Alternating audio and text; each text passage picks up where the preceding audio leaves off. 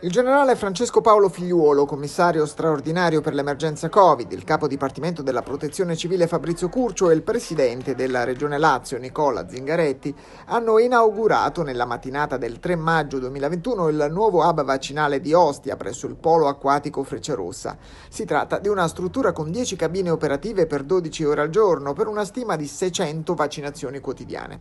Il polo acquatico è la sede in cui si allenano i grandi campioni del nuoto e della pallanuoto italiani.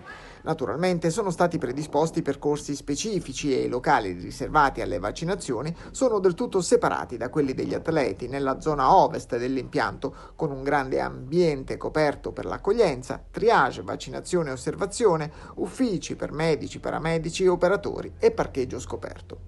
Il generale Figliuolo, parlando ai giornalisti dell'andamento del piano vaccinale, dopo il raggiungimento dell'obiettivo di 500.000 vaccini al giorno, ha spiegato che per accelerare ulteriormente è opportuno impiegare tutte le dosi di vaccino a disposizione, per cui si sta valutando di estendere l'uso dell'AstraZeneca anche agli under 60. I vaccini vanno impiegati tutti.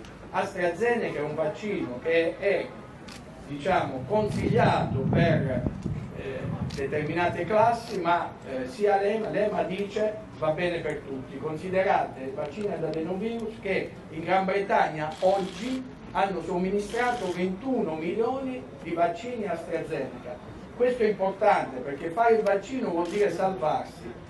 È chiaro che ci sono degli effetti collaterali, ma sono infinitesimi dobbiamo impiegare tutto, se non impieghiamo tutto il ritmo della campagna non raggiunge i risultati e gli effetti voluti nei tempi che mi sono prefigurato insieme alla mia struttura e insieme alle regioni. Appena 24 ore prima, nella giornata di domenica 2 maggio 2021, inoltre, è stato inaugurato anche il polo vaccinale creato presso il centro commerciale Porta di Roma, realizzato in collaborazione con la Croce Rossa Italiana e l'ASL Roma 1, dove potranno essere vaccinate fino a mille persone al giorno.